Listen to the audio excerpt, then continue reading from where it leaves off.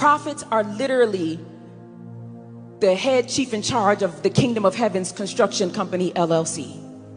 Apparently, this false prophet is not only ignorant and arrogant, she's also a for profit prophet. What you're seeing more and more today, uh, there's there's a prophet on every corner. Every time we turn around, there's someone who's calling themselves a prophet. Interestingly enough, rarely, if ever, and I don't think I've ever seen one who is doctrinally sound. I mean, someone that can skillfully handle the text. So much so that they're willing to even have a conversation with someone else because they are at least comfortable and confident in the way they handle the text. They tend to only go around other people who are also just as ignorant or uncaring about the text. One such person is Tiffany Montgomery. Make no mistake about it, she's not a prophet. Uh, she's not biblical. I don't know what her heart is. I think you can kind of see it, but I'll leave it up to you. But she seems to be someone who is not only ignorant, she's clearly arrogant. Thing I don't do is lose. I don't take the L. Any L I am going to take is called legacy. She says, one thing I don't do is lose. I don't take an L.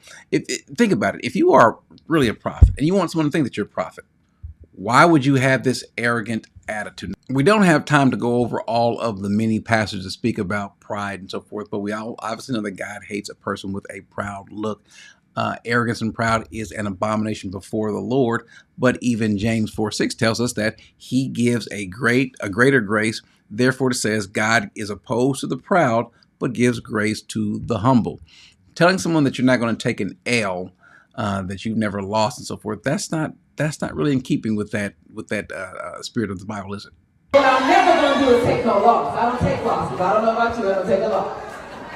So even right now, in your lowest moment, I told my friends yesterday, they pulled up in a car. I was talking to them with something, and I said out of nowhere, take a look at me right now. It's the lowest you're going to see me, and I'm already up, baby.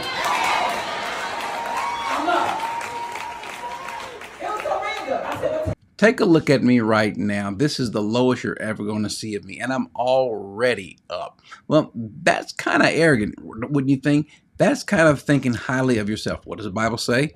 Uh, For the grace, through the grace given me, I say to everyone among you, not to think more highly of himself or herself than he or she ought to, but to think so as to have sound judgment. That's not sound. That's silly. That's stupid. It's arrogant, but it's on par for her. I said, take a look at me. It's the lowest you're gonna see me, and I'm already up.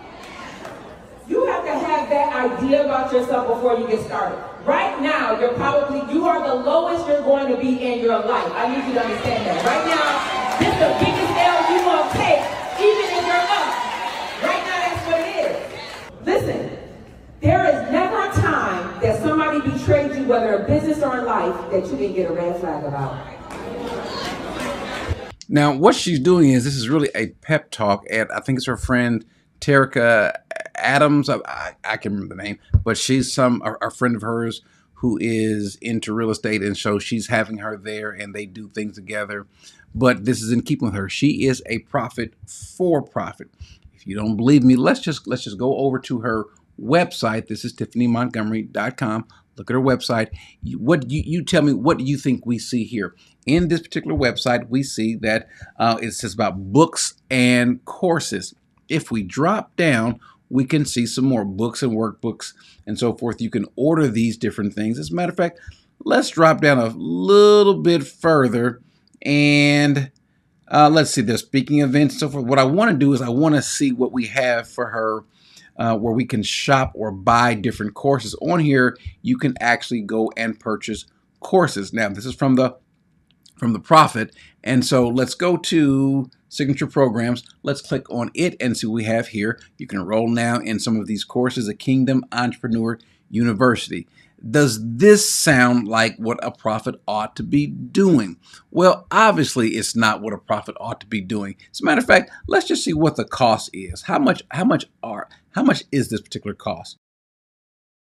The cost of these $1,000, $2,000 or $1,000 for these different courses, another one to be to be uh, determined. That's pretty expensive, of course. Obviously, gen- generous of her, kind of her to give us different payment options. But again, she is a prophet for profit, a for profit prophet. What do you call a woman or person, a woman who is selling herself. Uh, and that's make no mistake about it. That's exactly what she's doing. She is u- literally pimping the gospel, and also I say prostituting herself. If you're going to claim to be a woman of God, this is not what you do in the name of the Lord. You aren't. You are. You're using yourself as as a so-called prophet to sell a course, to sell materials, to also do whatever other venture. And there's nothing wrong with you having other ventures and so forth. But if you're going to be this prophet, be the prophet. Now you're not a prophet. She is not a prophet in any way, shape, form, or fashion. But what she is is someone who is not only out after her own, but as arrogant uh, and really sometimes just mean spirited as, as she can be, she's also ignorant. We'll deal with the other points just a little bit more, but she's also ignorant of the scriptures. Okay? Not in real life. I don't know, girl, what you been doing last night. Okay, you're pregnant? You did fornicate? Girl, he forgave you. She's not married. In Jesus' name, we just thank God for no condemnation over her. We bless the baby. We thank you that this will be a man or woman of God. We thank you that his destiny is already fulfilled. We declare that the Holy Ghost has already hit this baby. The Spirit of the living God hit this baby right now. We declare your baby filled with the Holy Ghost. The fire of God is upon this baby. And we declare that he will do great exploits in the name of Jesus. Amen. One of the things that prophets or false prophets tend to do, they travel with other people who want to promote each other. And so we see her being told by some, or her being told of us or to us, that she is some, unlike any other prophet that we've seen in decades. The reason why the body of Christ has a problem with this gift is because we have not seen a gift like this in decades. Let me say it again. The reason why the body of Christ has a problem with this prophet is because we have not seen a prophet like this in decades. Well, when someone tells you that and you've got an audience full of people that are listening and buying up, you can pretty much tell them anything, even if you want to tell them what prophets do and don't do. If you're wrong, no one cares because these are people that are gullible and they're buying it anyway. Prophets are literally the head chief in charge of the Kingdom of Heaven's construction company, LLC. We have to tear down anything that's not built on the solid rock. God's prophets bring correction and they also bring rebuke. This is the negative and unloving side that we've been typecast at because, again, please keep in mind, I just feel like she, you know, they don't even say I'm wrong. Now they say, I just don't like how she said it. Well, neither would I, demon. No, no, you're wrong. You are absolutely wrong. As a matter of fact, you don't know what a prophet is. Now, what she tends to do most most of what she's doing when she's not calling out clear and obvious bad behavior, like calling out Beyonce and things like abortion and so forth. Which okay, fine. I'm not going to give you credit for being right. I will. We will deduct points for you being wrong. But in this case, the Bible speaks about, Jeremiah speaks about these false prophets. In Jeremiah 23 16, he says, Thus says the Lord of hosts, do not listen to the words of these prophets who are prophesying to you. They are leading you into futility. They speak a vision of their own imagination, which she does, uh, not from the mouth of the Lord. They keep saying to those who despise me, The Lord has said, You will have peace. And as for everyone who walks in the stubbornness of his own heart, they say, Calamity will not come upon you. In other words, these prophets, they prophesy great things as long as you're not on the radar or someone who is obviously and clearly against the Bible, uh, if you come to her, if you come to her gatherings, you'll only get good things prophesied against you. Now, if you talk bad about her, if you call her out, well, then she is going to want to pronounce death on you and say that that maybe that you will die. And then, of course, you'll also have the audience cheering for that. And we declare that it backfires in their face. In the name of Jesus, we declare, let the angels of the Lord deal a death blow to every altar that is calling for your death in the name of Jesus Christ. They will go before you do. And that is the word of the Lord. You think I'm by myself? Wait till you see this angel that come and deal a death blow to you, baby. You think I'm by myself? Wait till the earth open up and swallow you in. And that wasn't just a one off thing. This is her before telling someone that if they don't repent, stop calling her out, then they are going to die also. Where's the camera? Because I want you to know something. So I want to say to you, lest you want your life, lest you want to live past tonight, I would encourage you to repent. And I'm not giving you three days. I'm giving you three hours.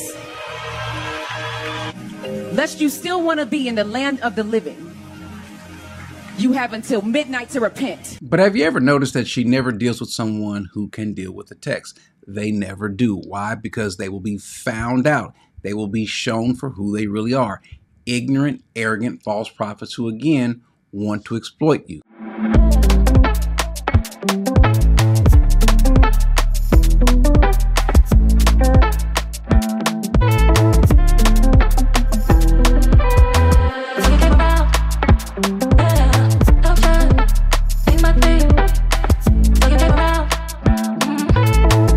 Yeah, this is one of her this is one of her conferences where she's selling things. And remember what the Bible says.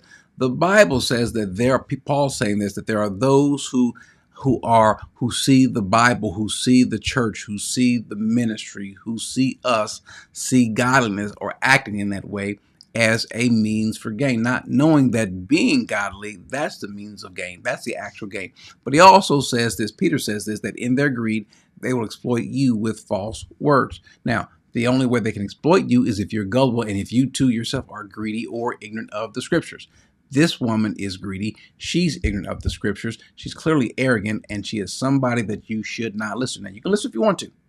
Do what you want to, but then you will also reap exactly what you sow. You give to her, you follow her, you listen to her, you're going to get exactly what the Lord is going to give her. Do not be caught up in what you think you see in terms of her having success, success and then thinking that you're going to get the same thing. Don't be surprised that what you get that she has is a trip to hell.